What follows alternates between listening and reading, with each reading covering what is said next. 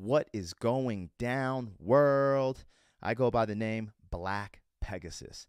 And two time Olympic gold medalist Klete Keller, a swimmer, has been identified a part of the mob that stormed the DC Capitol on January 6th. He actually got caught by wearing his U.S. team jacket. Let's get into this. Ten toes down, watch 'em bring it back. Walk a long mile, check the internet. Grind, yes, I'm that. So, two time Olympic gold medalist Klete Keller has been identified a part of the mob that stormed the DC Capitol. Um, this fool actually had his U.S. team jacket. Actually, let's get into it. I'm going to post the pictures right here. Good Lord, what is going down? So, you want to know why this hit so close to home for me? Well, he actually lives in Colorado Springs. And guess where I live? Colorado Springs. The home, I always call it the Olympic, the Olympic City, right? Because we have the Olympic Training Center here. That's why I always wear polo with USA, all my stuff, because you know I've always been into uh, into the Olympic brand, you know, and and all those different things, supporting our country in the Olympics, etc. I just thought this was crazy because there has been a huge narrative, a huge narrative that yo, it was all Antifa that stormed the DC Capitol. Yo, it was BLM that stormed the DC Capitol. Well, it's all starting to come out that it hasn't been. And so here you go. This is prime footage. There's a picture of an actually gold medal Olympi- uh, Olympian um, being a part of the Capitol storming. And, um, you know, I'm going to play some of the video footage too, because in the video footage, you can see, um, see him in the mix of the breach actually happening. Now, he's not doing anything aggressive like, yo, get off me, trying to fight people, but he's definitely in the mix. He's definitely on the Capitol.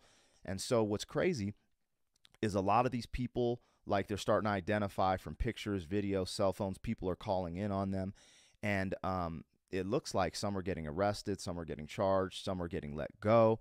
But there was this huge narrative that um, it was an event that people dressed up as Trump supporters and stormed the DC Capitol. And at the beginning, I was definitely on the fence like, hey, I, I could see there being provocateurs, agitators.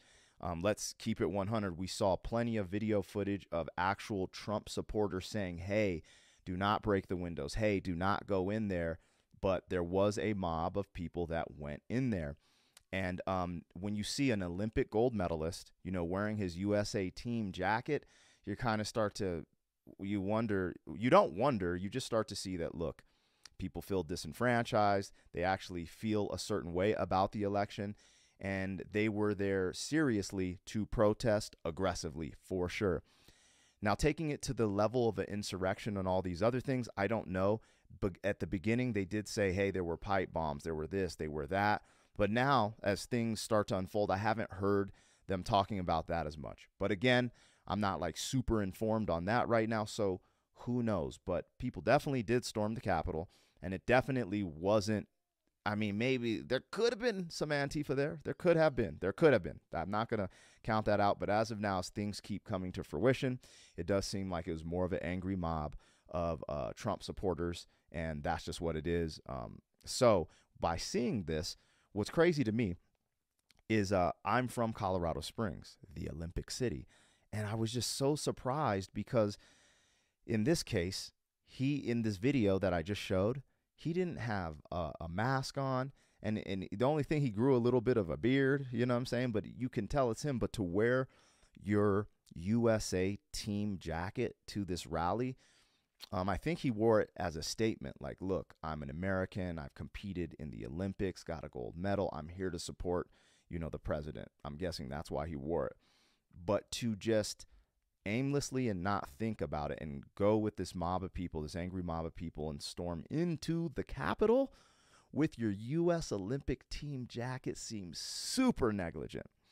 Anyways, um, I definitely cannot um, co-sign that. I don't even co-sign. Like honestly, I can't even co-sign um, the January 6th rally. Like I'm just like, look, I mean, we already know how um, how that sect of people feels about the election. I get it and then to have a rally that day and then the way it went it just seems so set up like you know security's letting a grip of people in also Um, it has been um, on record that uh, security um, called for backup six times and they didn't get backup. So what's that about as well? A lot to unpackage there, but um, let's look at this. Olympic gold medal swimmer living in Colorado Springs fired after attempt attending Capitol protest. Olympic gold medalist Klete Keller has been identified as having taken part in the U.S. Capitol riots last Wednesday. According to reports, Keller, a swimmer who won two gold medals on the U.S. relay team, along with Michael Phelps, was identified by former teammates and coaches via social media, images showing him inside the U.S. Capitol. I mean, at first I was kind of skeptical. I was like, yeah, right. They're just trying to take people out because a lot of people are getting canceled for supporting the president. And I think there's a huge difference between getting canceled for supporting the president and storming the DC Capitol in that manner. Huge difference. You know what I'm saying? people have the right to support the president. They can't shouldn't get canceled for that. This is freaking America. Wake up, you guys. Like, but um on a flip side, storming the Capitol, that was just a no-no. Anyways, um, apparently, he works for a company, Hoff and Lay. I looked it up. It's a real estate company in Colorado Springs, and he's been let go. They made a statement, and it's just crazy. It's just crazy how all this stuff is starting to unfold. Like I was trying to keep an open mind because of all the crazy stuff and the information you get on the internet. You know, because even with the BLM riots, you knew there were agitators, provocateurs, all these things going into those riots you know, escalating things. You know, obvious there's certain people part of the movement that are, are radical in any movement that's going to happen. So when I looked at this scenario, I was thinking, hey, what am I being shown here? But as things come to fruition, and this being the, the most obvious one, having video footage, pictures, and and then it's from my hometown, I'm like, okay, time to reassess a little bit. Anyways, all this stuff just seems it seems super odd. Even how security was kind of just letting people in on one side but then on the other side, they're scaling walls, etc.